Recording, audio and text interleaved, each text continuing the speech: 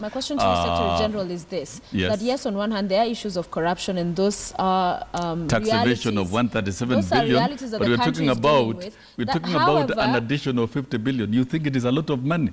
These the are question peanuts. is this: already one sector, one, okay, public servants are taking 10% of the budget.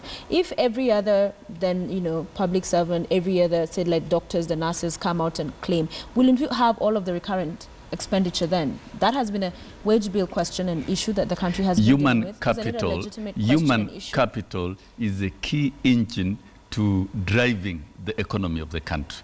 And uh, developing some economic theories that do not work but we want to gridlock that the wage of workers should not exceed this number.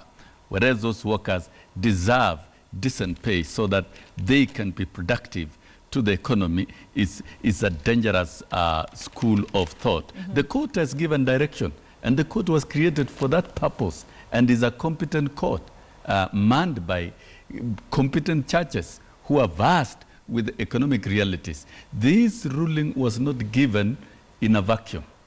Someone must have considered the economic capacity of this country. Let's look at the current budget of this year. Government will spend 2.2 trillion. But the marginal increase for this workforce, which of course is the largest workforce in any, in any government, is only 50 billion shillings.